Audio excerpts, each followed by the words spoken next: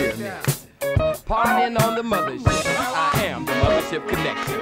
Atomic Dog, please explain that song.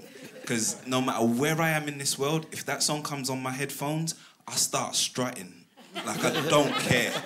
And that, so yeah, that's it. Oh, Atomic, wow. I, that was one of those days. I was on one. That's what, we, that's, what, that's what we call it. When you're on one, when you're really out there. And I mean, I was bugging that day. yeah, whatever it was, I had I had a good dose of it, and it was good. in fact, I did something that I had never done before, and that was like walking to the studio while the band is playing. Y'all trying to record without me. So, you know, I'm, that's not my personality most of the time. But this particular time I went in there, they said I was on the wild. Give me the mic, I'm gonna record. And so once I took the mic and I saw that they had this track on there, and it was backwards. You know, there wasn't no melody on it, no keyboard, just a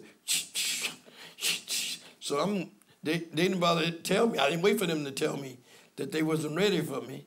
I just took the mic and went in there and got up there and I'm waiting on to hear some music so I know what key I'm in. And it don't come, it just so I start talking. This is a story of famous dogs. The dog that wags his tail will be busy. I mean, I'm waiting on music now. That's why I'm doing all that talking in the beginning. And so I was, and I realized when nothing coming, so just, why must I feel like that? Why must I chase the cat? Nothing but the dog in me. I'm waiting on a key. Somebody, and it don't come. So I keep on doing it and um, do the dog, catch all this acapella, atonal, no commitment to no key. Instead of taking it off and let me do it right, once they start putting the music on, Gary just put the harmony around the talking.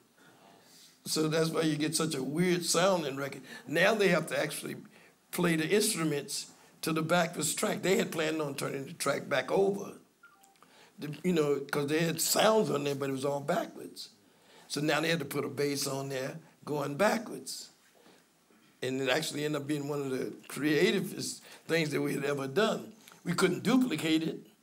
There was no way to try to do that twice because that was totally outside the, the realm of logic. But I was out there on one, like I said, and I just related to it and did it straight through. And Gary came along and thought I was serious, and he'd put the harmony around it.